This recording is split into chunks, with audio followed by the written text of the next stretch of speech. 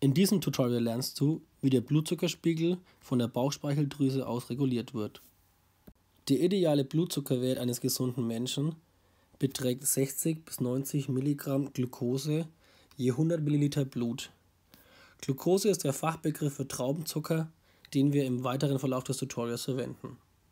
Wenn wir jetzt Nahrung zu uns nehmen, zum Beispiel einen Apfel, gelangt der darin enthaltene Zucker, also die Glucose, in unser Blut und wird mit dem Blut im gesamten Körper verteilt. Die Folge ist also, dass der Blutzuckerspiegel stetig ansteigt. Die Langerhanschen Inseln der Bauchspeicheldrüse, wie hier dargestellt, registrieren jetzt, dass der Blutzuckerspiegel laufend ansteigt und schütten daraufhin das Hormon Insulin aus.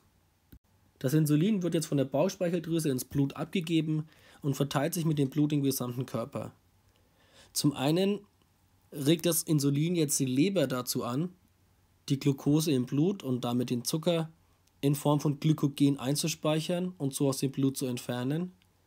Zum anderen regt das Insulin die Körperzellen an, Glucose, also Zucker einzuspeichern und damit den Blutzuckerspiegel abzusenken. Das heißt, die Konsequenz daraus, dass jetzt zum einen die Leber Glucose einspeichert und auch die Körperzellenglucose einspeichern ist, dass der Blutzuckerspiegel kontinuierlich absinkt und somit wieder auf den Idealwert von 60 bis 90 Milligramm Glucose je 100 Milliliter Blut absinkt.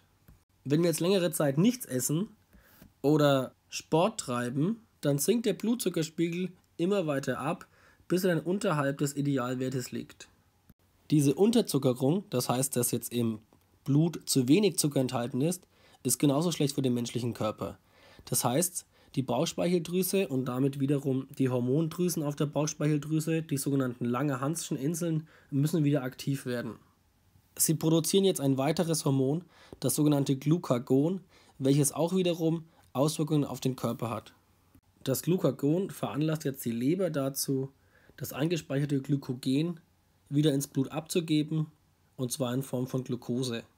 Die Folge daraus, dass die Leber jetzt wiederum Glykogen in Form von Glucose ins Blut abgibt, ist es, dass der Blutzuckerspiegel wieder ständig ansteigt und somit wieder auf den Idealwert von 60 bis 90 Milligramm Glucose je 100 Milliliter Blut ansteigt.